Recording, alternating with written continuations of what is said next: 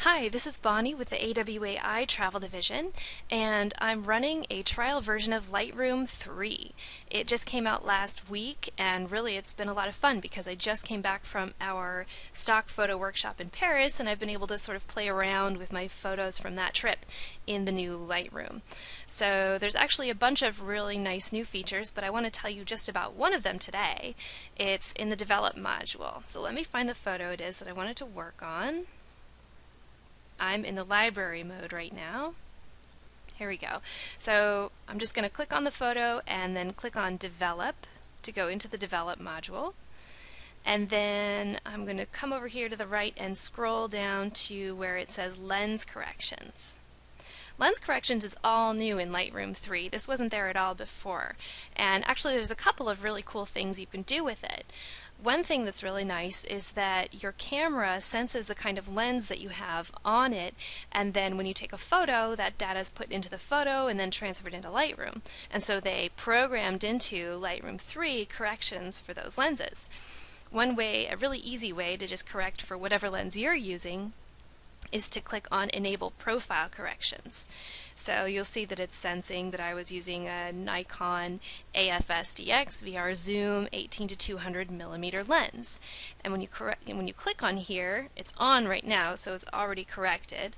But I'll just click again, and you can see that there's some bowing in the image from my lens and it's also sort of dark around the edges. My lens just always does that. So I can come down here and automatically correct for that. I like that a lot. Another thing that's really cool with the lens correction section is this manual option.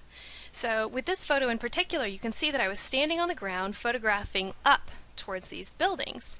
And with the perspective the way it is, it's making them look like they're falling backwards into the photo.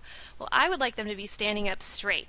And that's something you used to have to do in Photoshop, and it was kind of a cumbersome process. But now you can do all of that right in Lightroom.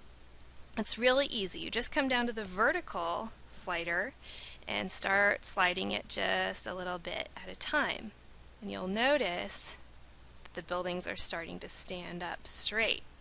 Now you don't want to take it too far because as you can see down around the edges, you're going to lose some of the photo from the edge and have to crop. But I like the way that this looks. It looks more like I'm photographing from a second story or third story window instead of down on the ground. So I'm just going to go ahead and go with that and then I'm going to come up to my crop tool and just pull in the edges a little bit to crop out that gray. And maybe get that one little edge and there we go. Now we have a corrected photo. There are all kinds of new features in here, like I was saying earlier, and um, actually the import process is, is, a lot easier too now. Um, it's very visual, so you can see more easily where your photos are going when you're taking them off of your camera's memory card and then putting them either on your computer or your external hard drive. Um, so that process has gotten a lot easier, and we're going to be releasing a few videos to show you how to do that later on.